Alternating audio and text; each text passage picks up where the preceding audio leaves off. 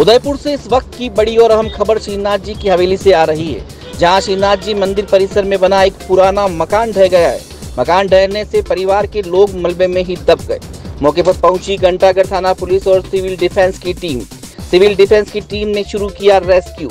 मलबे में दबे तीन लोगों को बाहर निकालकर भेजा हॉस्पिटल। मलबे में अन्य लोगों के दबे होने की आशंका भी जताई जा रही है। उदयपुर से इस वक्त की सबसे बड़ी और अहम खबर सामने आ रही है।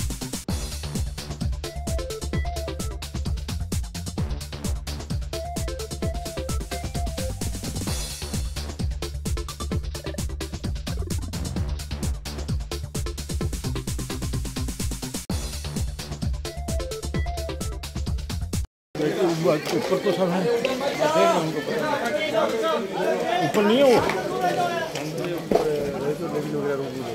नहीं गाड़ी को बुलाओ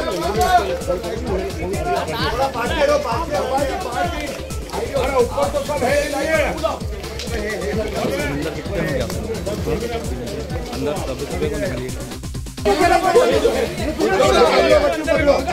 शहर रहे हैं। तुरंत श्रीनाथ जी की हवेली वहाँ पहुँचे मकान देने के विषय आठ